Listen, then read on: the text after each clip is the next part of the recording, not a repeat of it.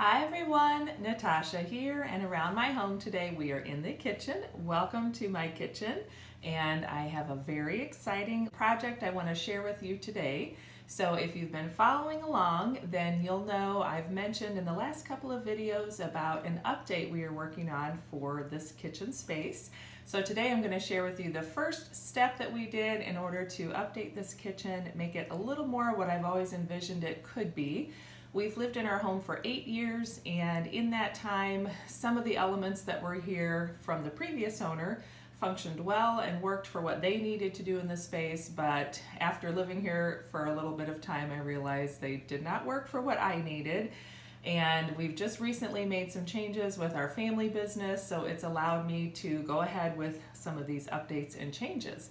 So let's start off with the first one today that I'll be sharing, and that is an update to this island. So this island has a poured concrete countertop on the majority of it, and then there is a wood section that was an add-on, again, part of those renovations along the way from the previous owner.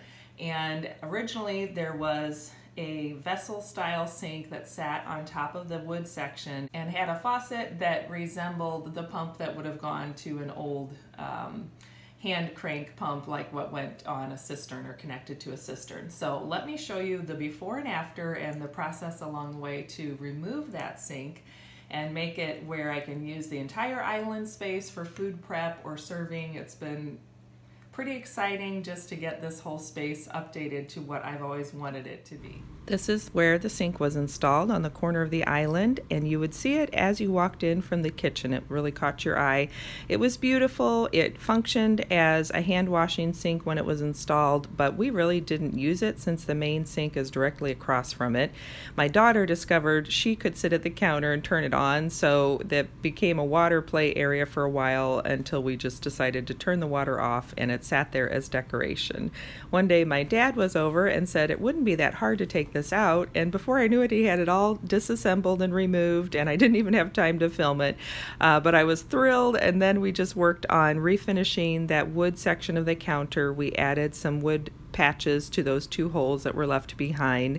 The small one, we had a challenge of getting a piece to fit and so we ended up using the end of a broom handle so it turned out looking sort of like a knot and here's my dad working on sanding those two patches and my husband jumped in to help sand the entire top so that I could refinish it in four coats of polyurethane, which is what it initially had on. There's still some dings and scratches left from my daughter who likes to sit here, but it's just part of the character and the story of that section of our island. As we were working on this whole project, I mentioned to my friend that I really wished I had matching bar stools that were the correct height instead of the antique ones we had that were too tall.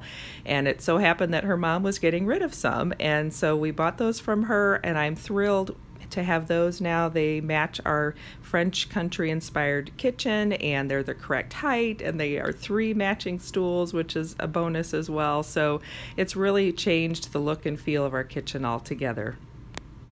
Okay, so that is the update. So getting the sink and the faucet removed from this corner of my island has been a highlight of the year for me with all the other things going on. It was really nice to invest some time and energy into updating a space I use multiple times a day, making it more of what I've always hoped it could be. So now I have the entire island to use when I'm prepping food or setting out serving dishes or even just my daughter sitting here doing homework or, you know, keeping me company while I'm working in the kitchen. So I'm super grateful to my dad and my husband for their help in removing that sink and making this space exactly what I had envisioned it could be. And I'm excited to go into the holidays now with my kitchen looking a little more like I've always wanted it to. And in the next video in this series, I'll be sharing with you the update to the corner to my left over there. So um, you might have seen a few sneak peeks in some of my videos, but I've been trying to keep it hidden so that I could surprise you with that update when it comes out. So that will be the next video.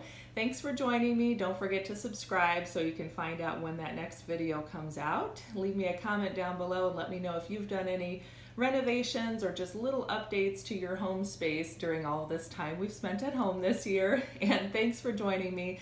I hope you have a wonderful day and I will see you in the next video. Bye-bye.